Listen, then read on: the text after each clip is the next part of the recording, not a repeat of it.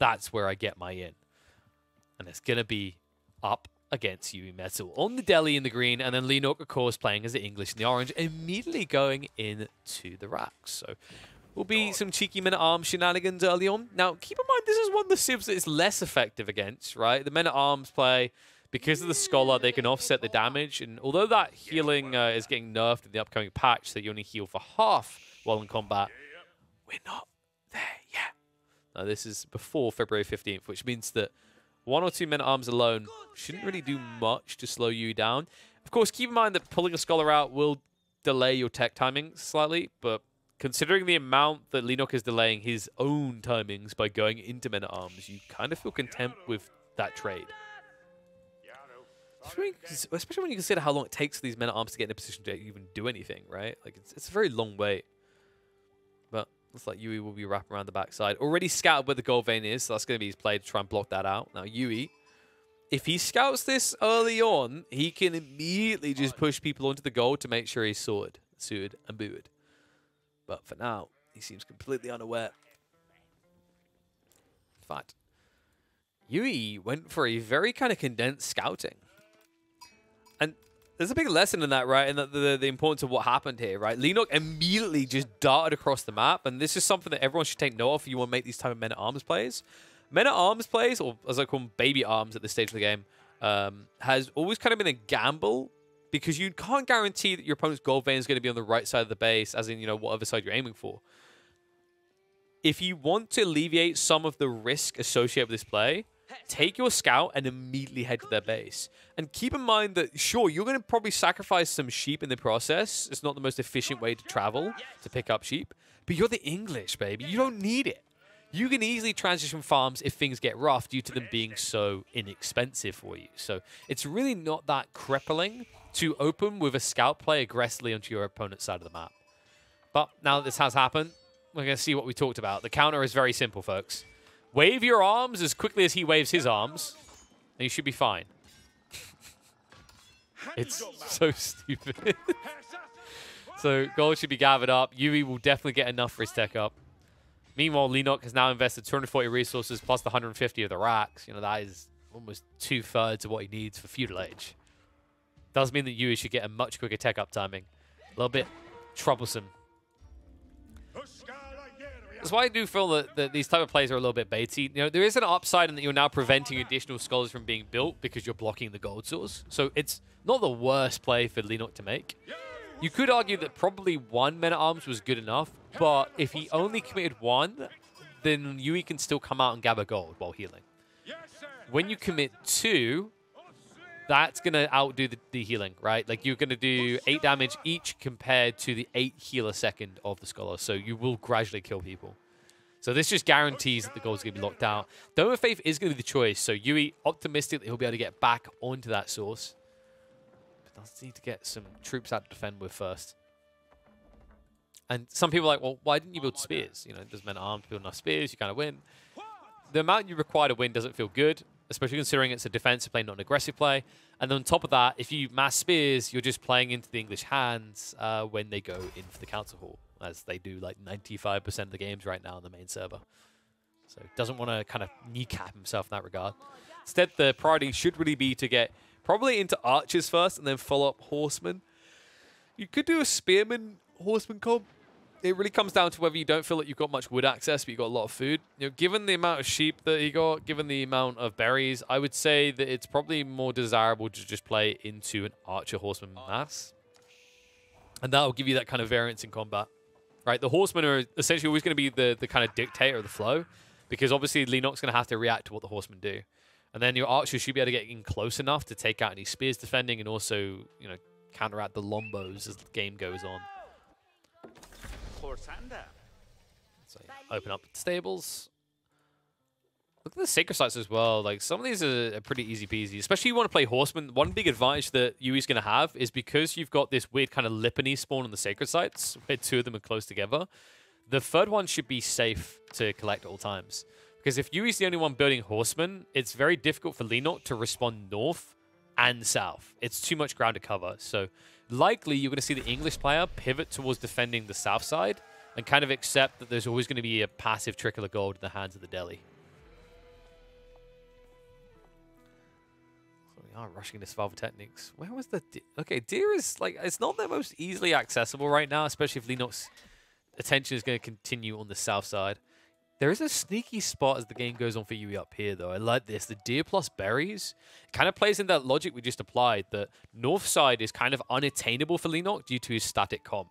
So if you do realize that Leenock starts to play south a lot, then not only can you go up here for the sacred site, but you can also just sneak up here to get the food. Pretty, pretty crafty little figure there from Yui. I love that. We are going to get the archer range full up. So Horseman Archers as expected. Other side, Leenock, it's just going to be the cut and dry simple, right? Archers plus Spearmen. And farms going to be set up as we talked about. No other Civ can get away with this aggro scout play like the English because of the fact that you can just switch into farms. Like, you could argue maybe French could kind of do it and then they can play out to Deers instead, but it's a bit more of a coin flip this is kind of that situation. Like, if you think about it, the reason why French can sort of do that aggressive scouting first is that they play knights and they go play pocket ecos. But that's a gamble because if you can't keep aggression, you're going to get sniped out on the deer you go to gather from.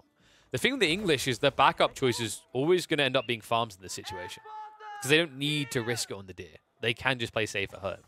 It makes him a lot slower, but remember, Leenock's goal in this game isn't to inflate himself to a win condition in 10, 15 minutes It's to ensure that Yui's win condition in the next 10, 15 minutes falls flat. Because if you talk about ceilings for these two civs, there's no denying that the English can go a lot deeper into the game than Delhi.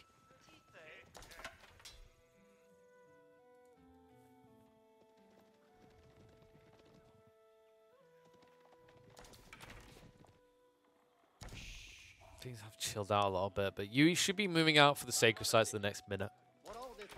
Santi is just a minute away, in fact. Has prepped the blacksmiths, like to see this. Could even think about going for a secondary blacksmith super early. Just gives them the all-out counter as quickly as possible against the English Lombos, which is the big thing you're worried about.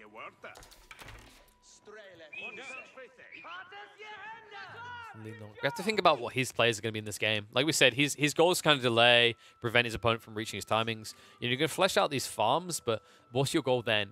Well, ideally, Leenock is looking to gradually float towards two farm clusters of eight, and that should get him enough income to kind of start floating the idea of Castle Age.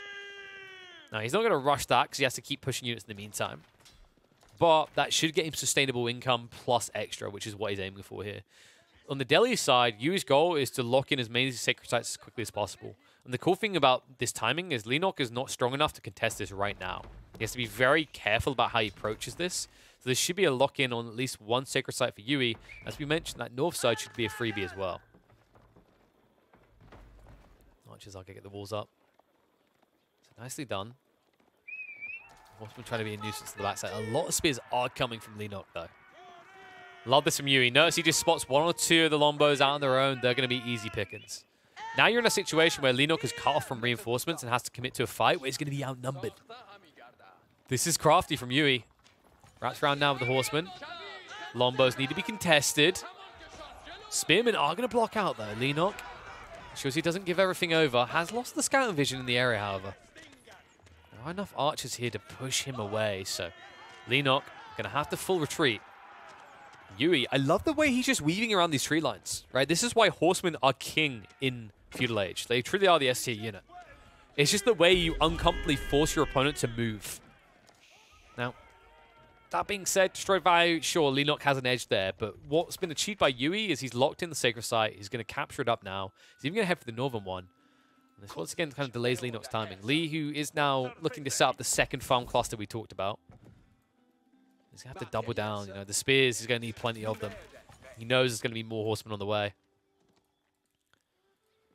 The gold safely just being collected by Yui, you have to remember that he's going to be able to trade if he needs to to get additional food or wood.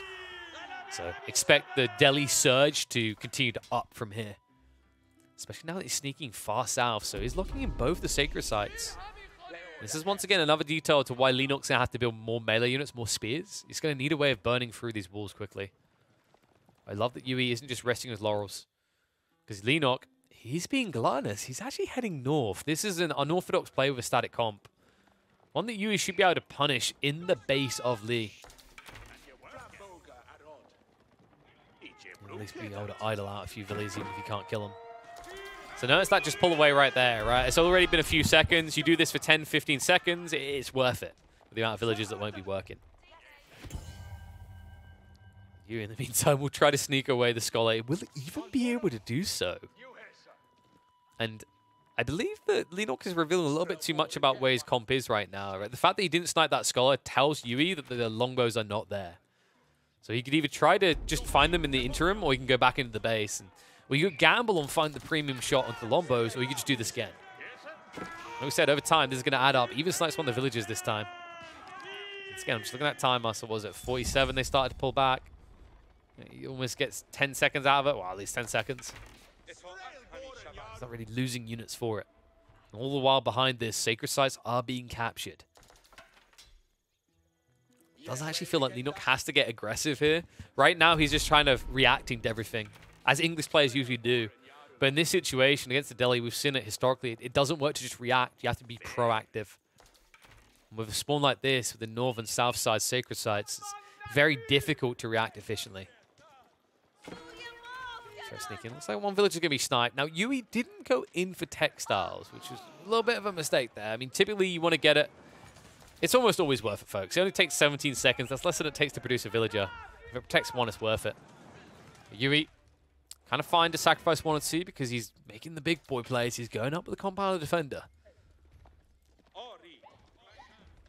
Leenock well, he's nowhere near ready. He continues to invest, and militarily they're neck and neck, but most of it is not in a position where Leenock can punish Yui for this. If Leenock heads for the sacred sites instead of the base, he won't be in position to catch Yui with his hand in the cookie jar.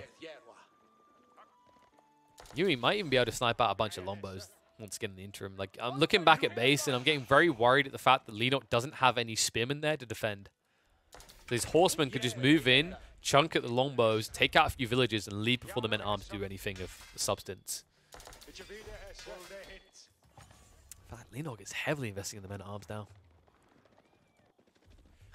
Yui's not going to be weak with this tech up. Like, you're seeing this, right? Like, 8, now 10 villages. He's leaving plenty of room to keep gathering resources. The goal is now, when the tech up completes, he'll have a substantial war chest to use in pushing units out.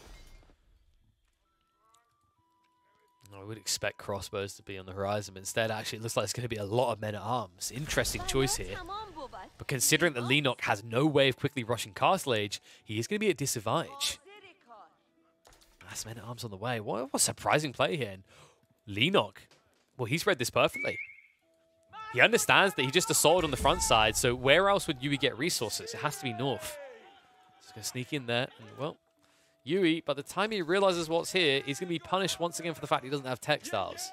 I, I, I say that. Oh, lean on.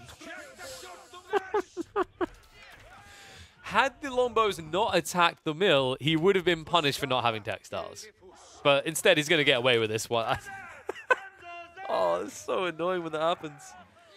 There is a snipe on the south side, though. Looks like three villages going down, so heavy damage leveraged on both sides. Now, keep in mind, Yui doesn't have much food in reserve, and because you're going into mass men-at-arms, there is a high premium to that, 100 food each.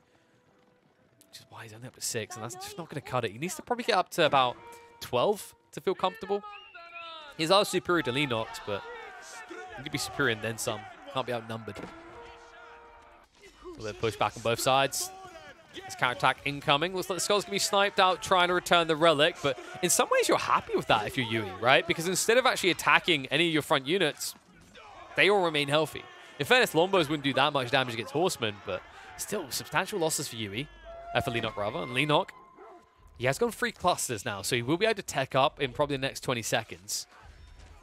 At what cost? How high of a price is going to have to pay? Because there's a lot of archers and a lot of men-at-arms coming out from Yui fact, he's even adding in Lancers now. Very open battlefield, remember. Leenock didn't actually wall himself in at all, and he's going for the King's Palace. So, although we have some sort of garrison point, he's also going to have a lot of exposed eco still.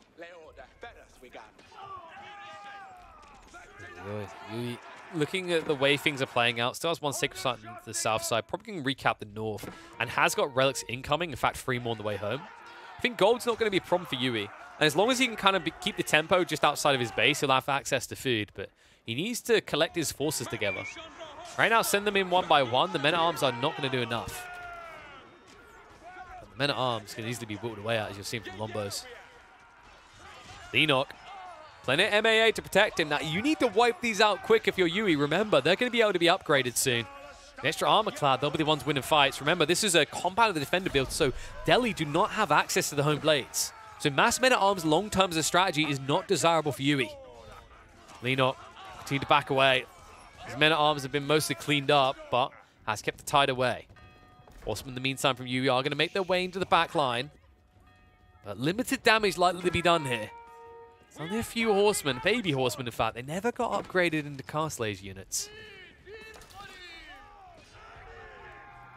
Yui, Yui, Yui. What is the play next? Yui, what could you do that wouldn't look Yui? Keep drops kind of makes sense, but like where are you going to drop them for premium value here? I, I think Yui's missing the window at this rate. Like it's up to 17 men at arms, but Leenock should be able to counter, right? You just get your own men at arms now, you beef them up, they're better than what Yui has. I wouldn't even be surprised if he added a few crossbows behind this. I mean, uh, this could get very uncomfortable for the Delhi in the next two minutes. He doesn't actually have a way in. That's the crazy part. Like, Leenock's base looks like it's wide open, but it takes you too long to weave through. The Lombos can start a step back. You then also got to consider not only the extra armor that men at arms English have, it's also the attack speed buff from the defensive. And it's kind of crazy. It feels like you wanted home blades in this game. It feels like maybe you was expecting a different style to play out here than actually did. Clash will begin. Just a few men at arms to keep the green ones at bay. This feels like mostly a throwaway come from Yui, just to buy time for another transition. Longbows in this quantity, with their upgrades, silver hats achieved, uh, they're good enough to cut through. I'm getting a little bit worried that Yu doesn't have uh, anything in the Cauldron to brew here. I mean, he's going for the keep drop, which makes sense if you have a Sacred Site timer ticking down that you're protecting, but he, he doesn't have this. You're also up against English that has free farm clusters already set up. You know, they're kind of laid to go late into the game, and you're not. And also, every minute that passes that you don't do some damage to their eco, it's scaling past yours, right? It's double TC after all. Yeah, honestly, I, I think it's kind of weird because usually when you get to this stage in Castlage, like Mass Men Arm starts to kind of like, eh, why are you doing it? But even Leenock doing it now feels good, right? You're going to have the longbows to count the crossbows that come from Yui, and then your own men at arms will reign supreme in the main battle. In fact, I love the fact that he even found a way to get crossbows in there. Some of the English players don't do much, but ever since they've been playing on the test server, players have realized they changed the council hall, crossbows do feel damn good. So finding a way of affording it in your economy early on in Castle Age definitely pays off. And once again, just so many units thrown away by Yui he's buying time, but once again, it's a case of, like, what are you buying time for here, right? You gathered all the stone required. Where did you drop the keep? Did he go for a keep drop on... Am I blind? Wait, what? What? How did he sneak that? If he can actually chain a network of keeps here, this is big. But it's a big ask. And he needs a lot of time. In the meantime, Leenock is trying to milk him on that regard, make sure he doesn't get the time. Mangonels have been forced out, so we'll need a counter to that siege. You know, one of the weaknesses of the English is they're one of the weaker civs to transition into siege. Especially when they haven't got a keep. We can make it easier to also get into that network of Citadel, something that is definitely lacking from Leenock. In fact, with this much in terms of eco, you'd think he would be starting to move on the stone, but yet to even consider it. Sacred Site's now locked in. So, timer does begin. Village Fortress is, is, being prepped. A little while off, but Mosque is going to be there, so Wi-Fi will be given over. He's going to yank that stone away. So that'll be enough stone, once he's drained it, to, to drop two keeps. Almost three, in fact. So this actually could be a big play. If he wraps in north, I don't think you want to go south here. Like, south is good for protecting your sacred sites, but it doesn't pressure the base of Leenock. You only target housing with that play. Actually, Yui, he's trying to sneak around, but unfortunate timing. So wait, what? Did they see? Did did they did they see? I don't think they saw. Oh, Leenock didn't see. He got distracted, so looks like Yui is going to get to have his cake and eat it here. Yui, who is somewhat stabilizing in the center. These Mangonels continue to hold Leenock hostage, and he's yet to make a commitment to a counter. Not only that, but Leenock still on the offensive. Butchers the villagers out in the deer. Will make his way into the backside of the base. Now, this woodline is very far away from safety. Definitely a danger point for Yui to worry about. Ecos just being blocked out. All pocket ecos that Yui had are no longer going to be his. Leenock now with the mass forward. Enough men at arms to clean up. There's no way the Mangonels can get away from this. So Lombo should be able to chase down and cut down those crossbows. Mangoes being targeted, but the repairs coming out from Yui will save the day. Keeps the Mangoes alive, continues through, and now butchers the man-at-arms that are chasing. Crossbows holding out. Great play there by Yui to minimize damage. And now the commitment over the top. Yui coming in with even more villagers. He knows he's got advantage now. He knows the Lombo's back at home. A Few men-at-arms to keep them busy. He's trying to go for the jugular. Leenock needs to prep an army to defend fast. An aggressive keep drop on the way. Yui, he knows this is do or die. The longer he waits, the worse it gets. Still no textiles, though. Yui does not like his peasants. Mangonel continues to push Leenock back. This castle should be going up. Lee now only prepping the Springald counter. You have to wonder, what if he had it sooner? Could he have had it sooner? Shoulda, woulda, couldas don't matter here.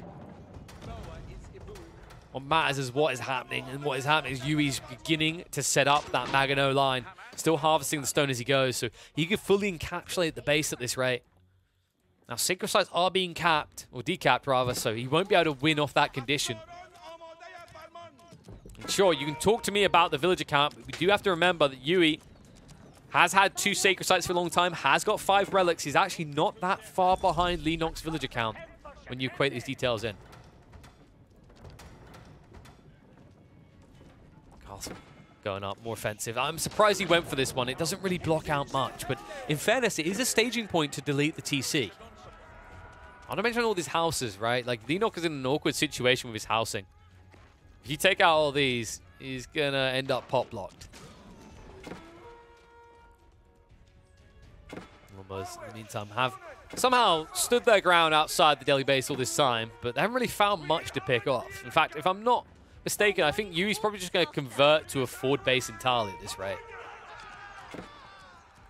Keep set up, though, and Yui a very strong position. Leenock now trying to get the counter into the trebuchets. Trebuchets that will have the attack speed buffer, considering the castles are in their own base.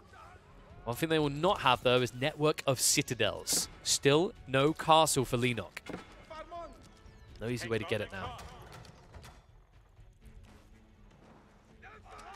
He finally had enough. He will look to just chase those Lombos away.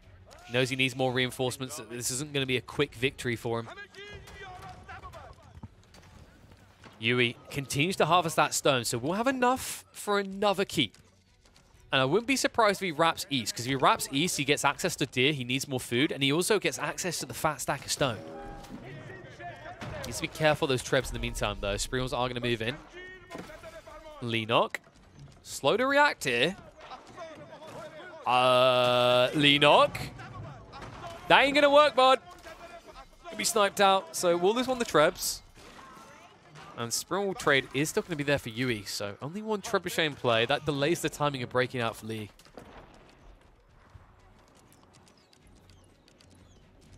Military Academy is also on the way, so this is going to accelerate for Yui.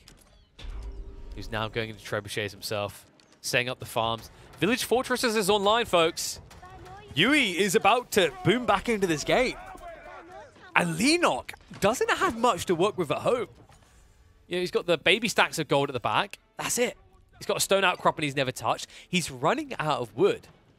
This actually could be over for Leenock soon if he doesn't break out. Remember, this is Castle Age English. This is not the Imperial Age English you're used to seeing just box themselves in and not care about the world. This is colonialism English. They need to get out and actually interact with everyone. They need to take everything from everywhere.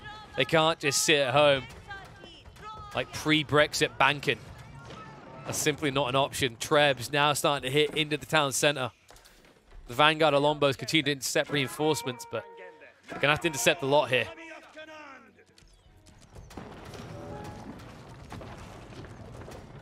Might be taken down soon, but still, Yui with a leg to stand on in the area. Repairs have continued, which has negated the ability to build additional castle in the area. Interesting that this Treb is focused on that TC. Interesting that he doesn't have a forward line to defend with. Because Leenock is making a move towards the castle. Needs to be careful about intercepting. Will find himself up in the double castle fire here. We'll get the trebuchet for free, though. The commitment now from Yui. Yui with a very small force here. Mostly siege, in fact. Where the hell's the army? Oh, Yui, no. Not like this. Now, I don't think there's boiling oil in these castles. No, no boiling oil in the castles, so dives will be successful for Leenock. If he can clean up all the siege, I mean, Yui doesn't really have a leg to stand on at that point. Has Leenock actually done this? I mean, the castle network felt like it was good, right? There was a good container there from Yui, but now... Now he's just been reduced to rubble. Yui losing a substantial amount of his military might and his eco that he was starting to reboom on the front line. I mean, these longbows can move in and kill villagers all day and all night. Still no textiles. 26 minutes into a Delhi game. Mangonel will save the day, though. It's mainly longbows left, and the Mangonel could actually just turn this again. But Leenock refused to give up, continues to push forward. Trebuchet is now looking to obliterate the last of the fort castles. And I've got to say, I think Leenock has done it. He's broken the back of the beast. Yui, the containment has failed. Leenock has a great economy at this stage, a decent-sized military force, enough trebuchets to now come and end the game. Heck, Leenock could even sit back and go Imperial Age. I, I think Yui got incredibly gluttonous with his eco there. Really needed to find a way of going onto maybe the deer to the south side instead of setting up farms and putting that extra wood, those extra resources into work elsewhere. The lack of military killed him here. I mean, if he had maybe an extra 10 crossbows there, 20 crossbows even, he definitely holds. But lacked what he needed. And now the game has fully swung about. I love watching scholars move this fast. It's like they're panicking, like, we're all going to die. But you're going to die faster because I can move away. And Yui feels it as well. Doesn't hang around. Leenock holds on, threads the needle perfectly, and gets out of a jam to make sure that it's not going to be another win for a Delhi player.